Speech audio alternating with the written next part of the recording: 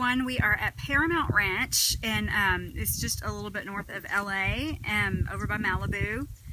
And um, they've used this 27 or 2,700 acre ranch to film all sorts of movies. This over here is where they would film things for Africa.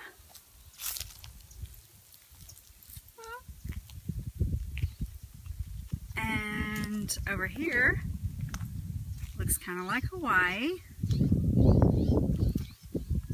And it's like the hottest day in LA ever, so we're taking refuge in shade. Okay, if you remember in the um, early to mid 1990s, there was a show called Dr. Quinn Medicine Woman. And this is where that was filmed, all through here.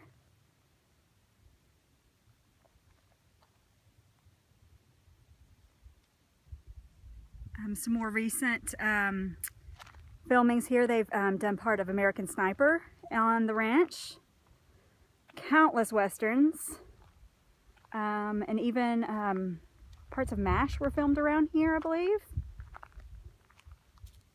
All right, now we are in Witches Woods. This is where they have filmed back in the 30s um, a movie about the Salem witch trials.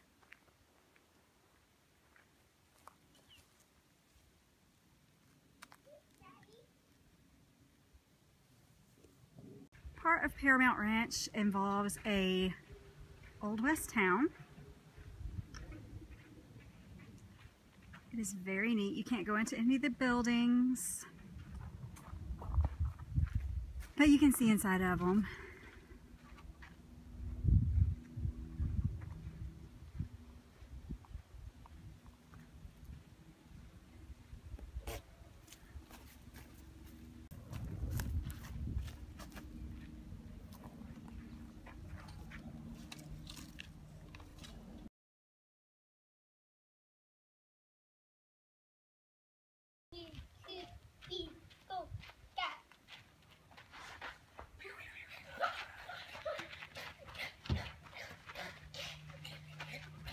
think you're dead.